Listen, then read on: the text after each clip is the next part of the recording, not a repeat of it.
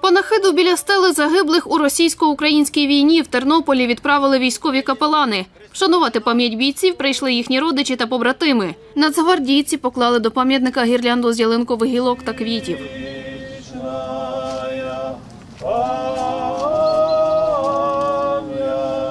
Військовий з Київської області Олександр Сигнаєвський прийшов покласти квіти до стели героїв із сином. Ми прийшли сьогодні вшанувати свято покрову, вшанувати пам'ять наших загиблих хлопців.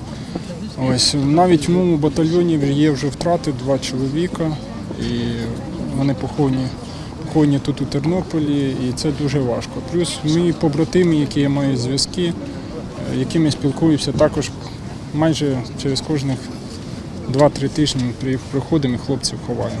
Сьогодні відбувається боротьба нашого народу, нашої нації за своє майбутнє. І я молю Господа, щоб ця боротьба була остання. І ця війна не перейшла до наших поколінь, наших, ну, щоб не передалась нашим дітям. Серед рідних загиблих Марія Гурняк, матір добровольця і фотокореспондента Віктора Гурняка. Для мами своя дитина, яка віддала життя за Україну, вона завжди була, є і буде тим героєм, яким він є. Але це треба пам'ятати і вшановувати для життя України, щоб майбутнє покоління, яке підростає, щоб знали завдяки кому це все створювалося. Діана Качуровська, Андрій Прокопів. Новини на Суспільному. Тернопіль.